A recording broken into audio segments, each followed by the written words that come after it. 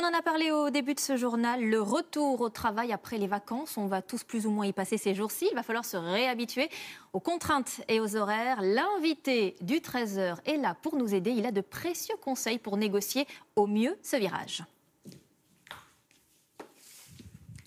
psychologue.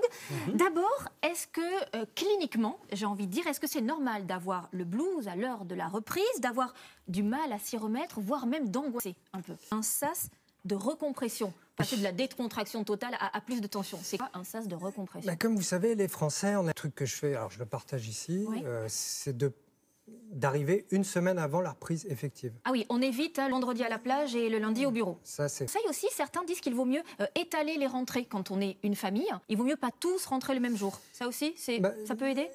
Vous voyez, et vous devenez stressant pour les enfants. Et euh, on le sait, c'est l'effervescence, il va y avoir plein de choses euh, à gérer. Est-ce que vous conseillez aussi de, faire un planning de reprise dans lequel on va hiérarchiser Mieux commencer par les choses qui vous plaisent le moins.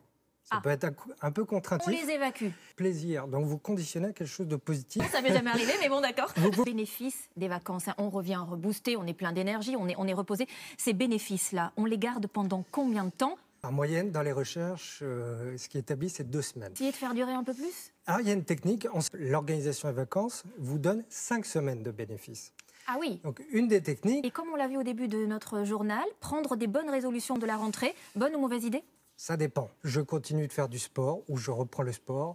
Je mange mieux, plus équilibré. Le point le plus important à la rentrée, c'est de travailler sur son sommeil. Merci beaucoup. Un mot euh, de sport en football. Eh bien, énorme surprise hier soir.